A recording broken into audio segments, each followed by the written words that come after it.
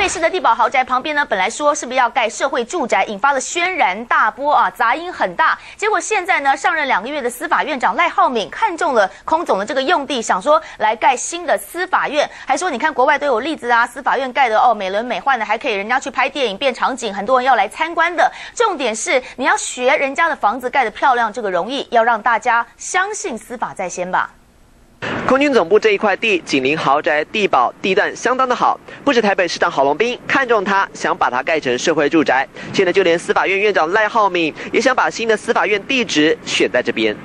现有司法院一九三四年完工，出自日本建筑师井守勋作品，属于国定古迹，但四楼却是大违建，文件会要拆，这让赖浩敏相中地堡旁的空总用地，表示要盖新的司法大楼，保证比地堡更吸睛。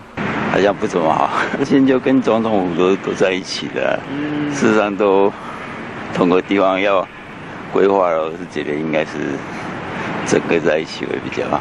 不好，为什么啊？这个地方是原来说干那个什么叫什么社社区社区住宅啊，社会住宅。嗯，新司法院车平地保，民众不以为然。其实赖浩敏认为应该建立千秋万世的司法硬体建筑，在国外有潜力可循。法国巴黎司法院外观金碧辉煌，还成了电影拍摄场景。美国司法院壮阔外观，让人有不可侵犯的感觉。只是上任才两个月，司法公信都还没建立呢。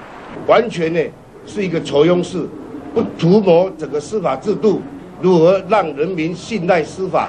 立委骂翻天，认为司法改革才应该是重点。赖浩敏要在地堡旁盖司法中枢，难免让人感觉本末倒置。中年新闻黄明军、孙永豪台北报道。